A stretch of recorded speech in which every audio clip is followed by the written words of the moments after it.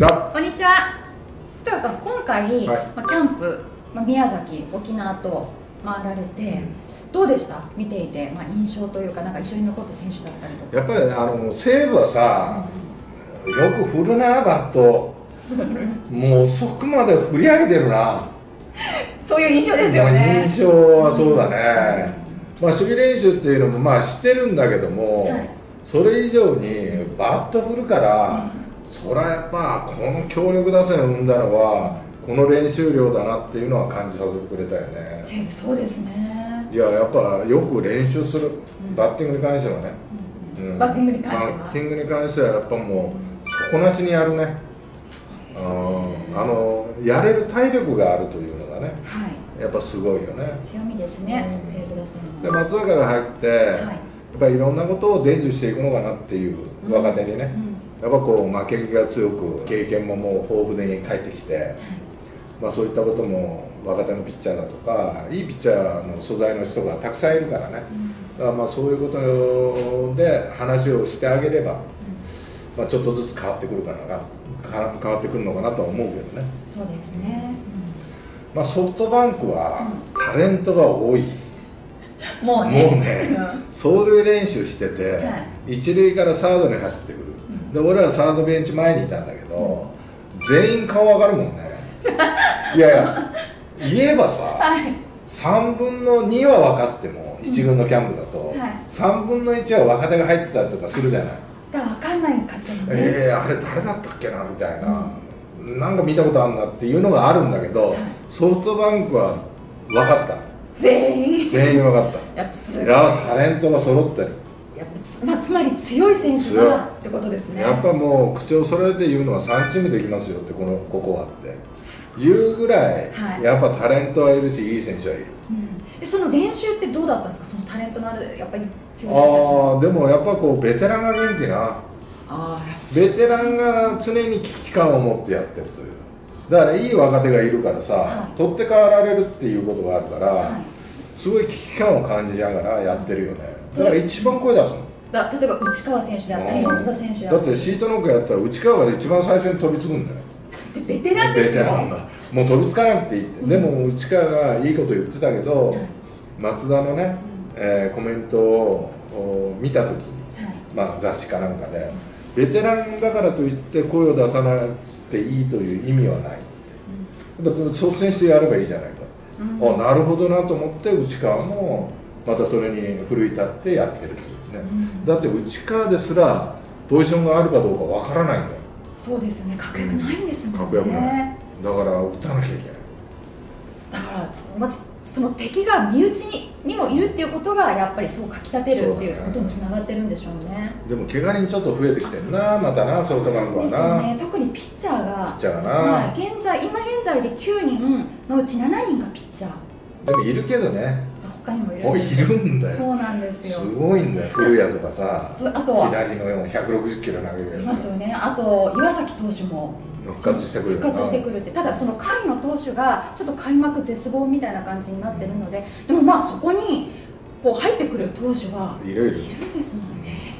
で巨人の2軍のはいあのーまあ坂本だとか宮崎で行丸とかはい。とかいるから、はい。ちょっと顔出したら、はい。コーチ陣がものすごく豪華だわ、だって実松コーチ以来全部あのタイトルホルダーって安倍さんがおっしゃってまあ、そのタイトルホルダーも新人王とかもあるけどね、はい。うん、だけどやっぱこうホームラン王がいたり首位打者がいたり盗塁王がいたり、びっくりですよ。ね、ホールド王がいたりだとかはやっぱいいコーチが揃ってるわ、いいや恵まれてますね。うん。あのーやっぱ言葉に説得力を持つよね。はい。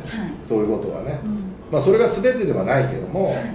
やっぱり一つこう一目置いて見られるというかさうん。あのー選手たちがね。うん。だからすごく豪華だなというふうに思ったよね。でつまりその一軍でレギュラーで勝つためにはどういうことをしなきゃいけないっていうのを二軍の選手たちに教えられるコーチ陣ってことですもんね。だから専門分野で教えられるっていういやーいいね。うんでオリックス？オリックス。あどうでしたか？AJ あまあ存在感あるよね。でも全体的にちょっと暗いね。オリックスは。雰囲気？うんなんかドヨーンとしてるというか。なんかいないんですか？声上げてこうムード出す選手とか。あんまりいなかったね。まあ行った時がたまたまだったのかもわかんないけど、はい。まあ AJ の存在感っていうのははやっぱあったよね。あそうなんですねあのバッティング見たけどやっぱ軸がぶれない。あああれはやっぱ速い球にもついていけるだろうし、うん。まあ、少々の変化球だったら簡単に打ち返すんだよ、あもう日本の野球も特に問題なくすんなりいけそう。まあ、日本の野球がアメリカの野球って確かに違いはあるかもわからないけどもやっぱ対応力がやっぱないとメジャーで活躍できないから、うん。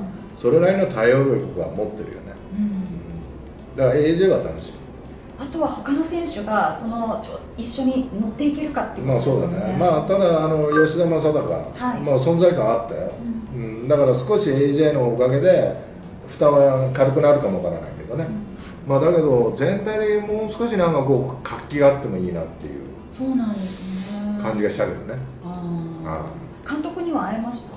ああったあっどうでした？西村監たうん どこにいるんやらみたいな。どこ行ったんだ西村みたいな。探して。うん探しておった。って目の前におった。督どうもいやいやどうもどう？もおいどこさん来てくれましたかみたいな、うん。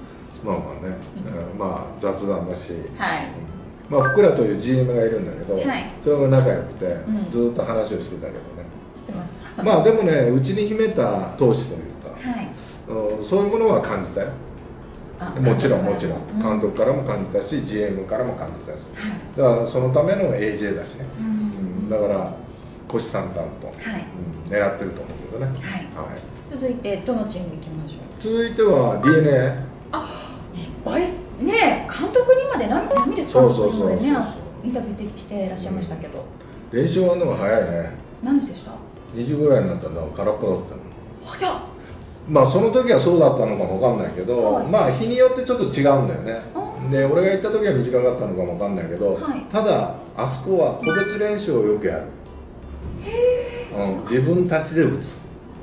自分たちで受ける。うん。ノックをね。はい。だからまあ実践という意味ではいいのかもわからないけどね。それはラミレス監督の方針なんですか？まあアメリカ方式だとね、あうん、ーあんまりこう長くやらない。うん。疲れを残さないっていう、まあ確かにあの鍛える場所ではないんだよね。呼び起こすための春キャンプだから。はい。で秋はもうめちゃくちゃ鍛えるけど春はもう調整だから、まあ、それはそれでいいと思う、うん、ただ他の球団がやってる分だけ大丈夫か？みたいな。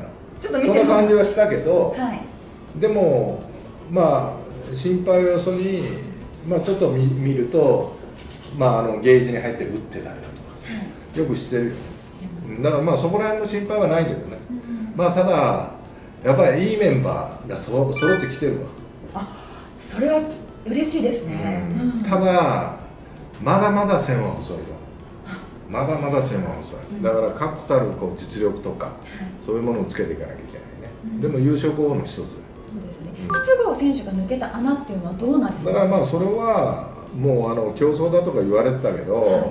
まあ、佐野が埋めるような形になるのかなっていう、まあ、それとともにチームの輪が生まれるといいよね、そうですね。うん。だって前剣が抜けて優勝だとかさ、はい。あー浅村がえー菊池雄星抜けて、うん。なおかつ西武が優勝とかさはい。決して一人の力が優勝を引き寄せるっていうのは、まあ、ここ最近では田中マー君24連勝、うん。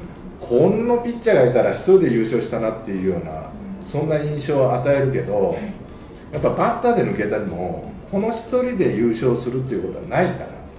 そうなんですね。それよりは抜けてどういう輪を持つかによってはいチームの力っていうのが変わってくるから。うん。だからまあそんなには心配しなくていいまあ、確かにいい選手だったよはい筒香って頼りになる。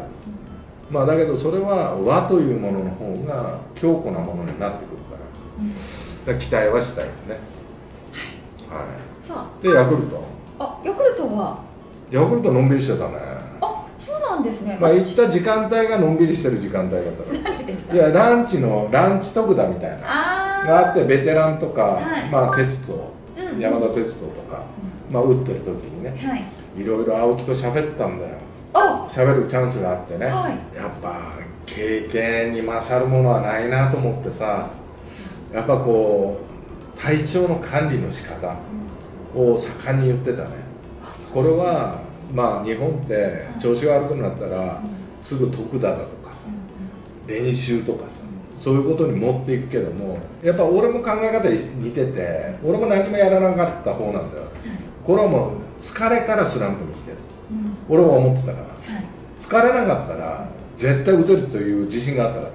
でも日本の野球って悪くなったら打てっていう。余計疲れちゃうで余計発揮できないっていう。だからその疲れを感じないためにも体幹をもっと日本の選手は鍛えなきゃいけないと。あ体幹。調整法の仕方を考えていかなきゃいけないとか、まあいろいろやっぱこう学んできてるよね青木は。メジャーとかでってことですよね、だから今年からチームキャプテンとかね、はい。任されて。あーやっぱこう野手はいいなと思うよね。うんただピッチャーがねそうですよねヤクルト。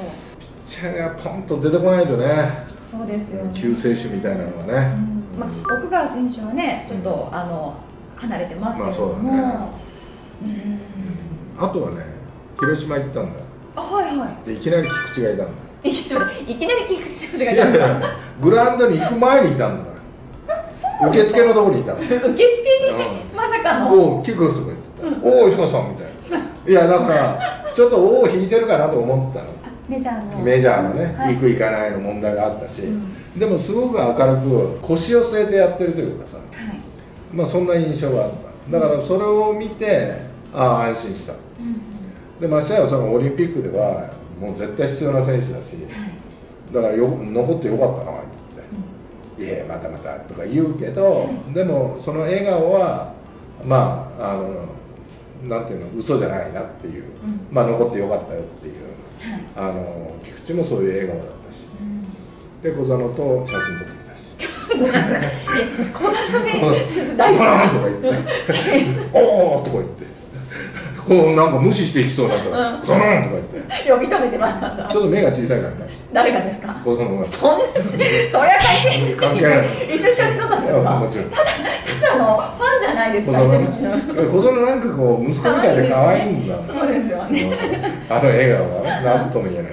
いやもうこね今シーズン活躍してほしいですよね小園選手、うんどうなんだって言ったら頑張りますよとか言ってたけど。言ってましたか？あと監督も変わったんで笹岡監督なので。あ笹岡監督には会えなかったあなかったですか？ちょっとどうですか？なんかチームの雰囲気だったりなんかこまああそこはね監督というよりもやっぱ選手たちがしっかりしてるしね。う選手たちでもう本当練習するからはい。まあそんなに心配いらないと思うけどね。あ変わってもそこは。うん。うんそんなに雰囲気自体は変わったっていうことはないけどちょっとのん。びりしたかなんまあヤクルトも同じようなことちょっと実勢というかあののんびりしてる。はい。まあそんな感じだけどうん。うん。まあ巨人行ったけどね。巨人はやっぱ落ち着いてるな。えっと一軍の方ですか、うん。今度は。はい。落ち着いてる落ち着いてる。落ち着いてましたか、うん。あまあやっぱりまあそうですよね。そうそうそう。で原監督もいらっしゃって、うん、あ同級生とか。横に座座って。そうなんでもうこっち座る。二人で。なんか隣になんか俺は知らないんだけど、はい。なんかおっさんみたいなのがいて。ちょっと嫌だったんじゃないだから嫌だから同級生。みたいなお間に挟まれて何ですかそのおっさんみたいな人がいたるいやいやわかんない。誰かいやいやもうね訪問者が多いんだよ。まだ巨人多いって、巨人多いんだよ。言いますもんそうねそう。でもね原監督にじっくり話聞いたんだよ。何聞いたんですだかからそれはまたもう別の動画で。わ気になる。気になる。はね、ちょまあそれははい。ちょっといろいろ DH の話とか。現役ドラフトの話とか、いおまあそういうことをじっくり話して豊どう思うだだあの練習終わった巨人の練習が終わってオープン戦の時にね。でパッと立って「豊来いよ」とか監督室連れて行かれて「ラッチだよラッチ」いや俺もやることあんだけどなと思いながら。そこ行ったんですね。いやでも、なんか話した話したそうだったから、まあ行ってみたらそういう話になったから、まあ別の動画で、じゃあまあこれはちょっとねまた別の回で。は、はい。いゆっくり聞きたいと思います。はい、まあということでした。はい。はい